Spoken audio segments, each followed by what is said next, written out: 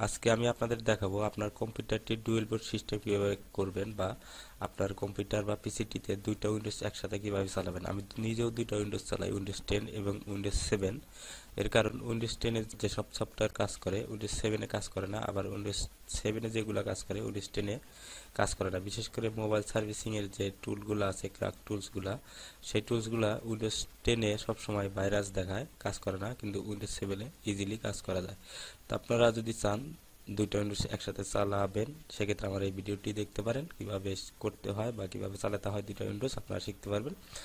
আপনাদের দুইটা Windows set করতে গেলে আপনাদের দুইটা ড্রাইভ, ফাঁকা ড্রাইভ করে নিতে হবে। একটি যদি আপনার থেকে থাকে সি ড্রাইভ, সেটা যদি অনেক বড় স্পেসের হয়, সেখান থেকে আপনি আরেকটি ড্রাইভ আলাদা করে নিতে পারেন এবং সম্পূর্ণ ফাঁকা করে সেখানে আরেকটি উইন্ডোজ সেট দিয়ে দুইটা উইন্ডোজ একসাথে চালাতে পারেন। আর যদি অন্য কোনো ড্রাইভ ফাঁকা থাকে, সেক্ষেত্রেও আপনি দুইটা ড্রাইভ ওইখান থেকে তৈরি করে নিতে পারেন এবং দুইটা উইন্ডোজ সেট করার জন্য আপনাকে উইন্ডোজের দুইটা ডিভিডি লাগবে।